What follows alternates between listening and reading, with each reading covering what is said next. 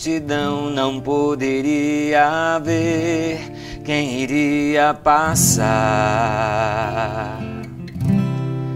Mesmo não sabendo quem podia ser, foi procurar.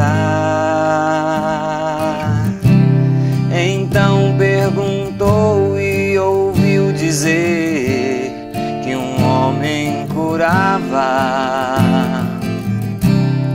E como não sabia mais o que fazer, seguiu pela estrada. Ele sabia que esse dia iria chegar, não parou, não desistiu. Com toda a sua força começou a clamar Mestre, vem me ajudar. Filho de Davi, tenha compaixão de mim. Filho de Davi, atende o meu clamor. Filho de Davi, cura-me, restaura-me, ó meu Senhor.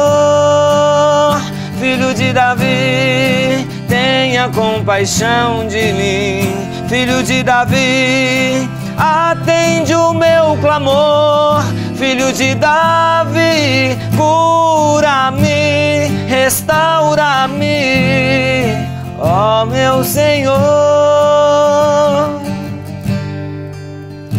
Ele sabia que esse dia iria chegar, não parou não desistiu. Com toda a sua força começou a clamar: Mestre, vem me ajudar. Filho de Davi, tenha compaixão de mim. Filho de Davi, atende o meu clamor filho de Davi, cura-me, restaura-me, ó meu Senhor, filho de Davi, tenha compaixão de mim, filho de Davi, atende o meu clamor, filho de Davi, cura-me, restaura-me. Ó meu Senhor. Ó meu Senhor, cura-me, restaura-me em minhas enfermidades. Eu quero pedir também, Senhor, na retomada dos trabalhos, em nosso programa Momentos de Fé, que o Senhor possa curar e restaurar a vida, a existência, o espírito, o emocional, o, psicó, o psicológico, o existencial de cada um e cada uma que está em sintonia conosco mais uma vez pela Vim TV. Olá, paz e graça. É nosso Senhor Jesus Cristo, o Filho de Davi, que é fonte de graça, bênção e cura para as nossas vidas, para as nossas existências. E assim chegamos mais uma vez em sua casa com o programa Momentos de Fé. Esta canção é uma canção das nossas canções de trabalho do programa do momento do, do nosso CD, o Sublime Encontro.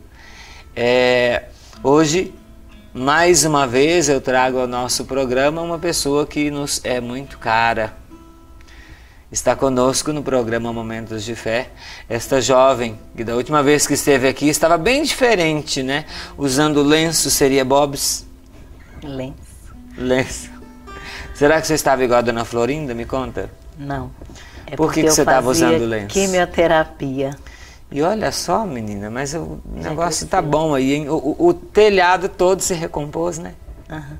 Gente, esta é a Joselita Vitor que está conosco mais uma vez no programa Momentos de Fé. Quando ela esteve aqui, ela veio é, fazer o seu depoimento e contar um pouco da sua experiência de luta contra o câncer. É, o câncer que eu costumo dizer ser é, o bicho-papão dos nossos dias. Né? Assusta, abala muito as pessoas.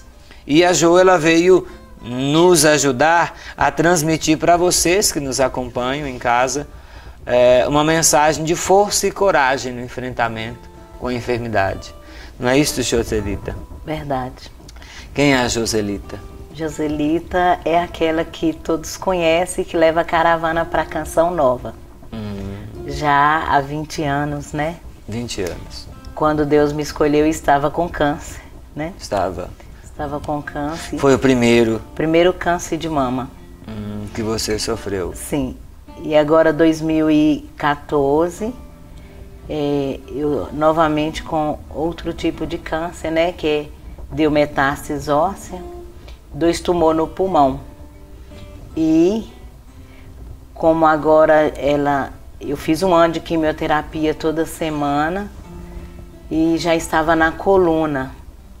É, duas vértebras da coluna já estava Foi uma enfermidade mais recente, né? Foi essa Foi essa agora de 2014. De 2014 você...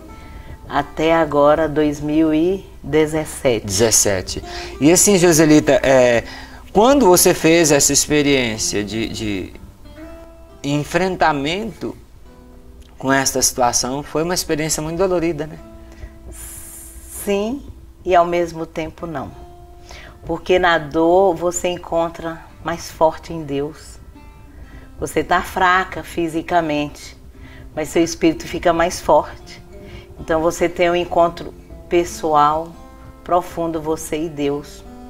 Quando você acredita, quando você tem a fé que o câncer não é nada e que Deus é que é maior. E que Deus é que é tudo na vida da gente. Vale aquela máxima paulina, né? É. Quando eu estou fraco, é que eu estou forte. Que eu estou forte. Eu acho muito positivo este pensamento de São Paulo, porque ele demonstra reconhecer diante de Deus que sua fraqueza pode até colocá-lo numa situação de fragilidade muito grande. Mas, exatamente por estar na presença de Deus, ele declara estar sendo sustentado por Deus, por isso, quando ele reconhece que ele não tem condições de continuar por conta própria e ele abre o espaço para Deus agir, ele se torna muito mais forte que o que é no seu uhum. cotidiano, porque a força vem de Deus. Né? A força vem de Deus. O sustento vem de é Deus. É a nossa fé, é acreditar que eu falo e sempre falo. Aqui nós estamos de passagem. E nós não temos que apegar no problema nem na doença. Nós temos que nos apegar em Deus. E quando eu trouxe a Joselita aqui foi para dizer: não é porque nós estamos enfrentando as piores provações desta vida que a vida acabou, né? Que o mundo vai acabar. Né? É preciso ir mais adiante. Então, você sempre nos deu uma, uma força e um exemplo muito grande nesse aspecto. E e a gente agradece por isso. E agradece mais por você voltar aqui hoje. Ah. Já o cabelinho, já tudo bonitinho. Já cresceu né? o cabelo. Já cresceu o cabelo. Deus. E, e vai ter coisas para contar para a gente hoje, né, Joselita? Tem. É, é, isso que eu quero que você que está em casa ah, preste atenção e, e acompanhe o nosso programa hoje nesta dimensão. Nós estamos falando de quando ela veio, o que ela estava passando e que ela poderia ter desistido. Você poderia ter desistido, né, Jô? Verdade né? Mas ela ergueu a cabeça. Eu vou contar para vocês umas impressões pessoais, o que eu ouvi de pessoas também que ela não sabe, né? E, e a gente vai contar para vocês hoje o que está acontecendo com a Jo e por que, que ela está aqui. Fique ligado.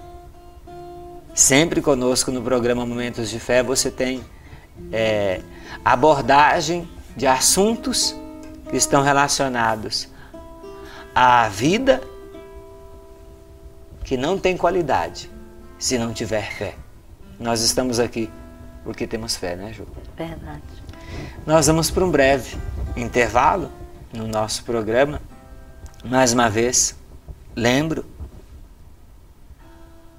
é, daqui a alguns segundinhos nós voltamos e eu te convido a rezar conosco. Por isso, traga o seu copo com água para junto da TV ou do computador.